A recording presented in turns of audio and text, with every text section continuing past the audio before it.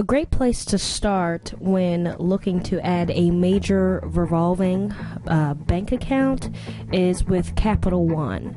Uh, so, the first thing you want to do is go to CapitalOne.com. You want to click on the credit cards tab on the far left hand side of the website, and then you want to go down and drag your mouse over the See if you're pre qualified option. Um, this is the screen that you'll see. Go ahead and put in your name, uh, your zip code, and the last four digits of your social security number. So it's asking you which benefit you're looking for and applying for the card. We'll click Not Sure Yet. Uh, also, that we are rebuilding credit here. Okay, so then you want to click on See Your Card Offers. Make sure you check the box saying that you understand the terms. Okay, so then Capital One will then give you some options of cars that you can apply for. Um, so we'll go ahead and click on the Capital One Platinum. It's showing at the very top. And then you'll see the application. So make sure you put in all of your information. Start with your name. Okay, make sure you're using an active email address. Then you want to go ahead and enter in your current street address city, state, zip code.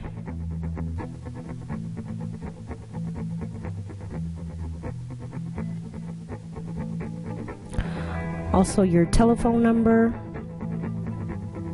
You don't necessarily have to enter any secondary phone number or an employer phone number here. Your social security number, date of birth.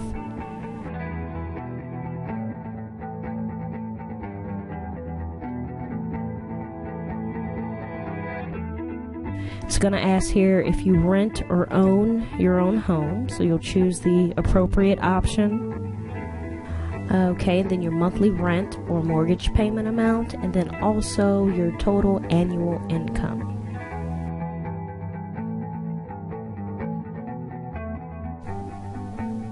Select your employment status. Um, also, if you have a checking or savings account or both. Um, right here you will see um, options if you'd like to ch- change your card design.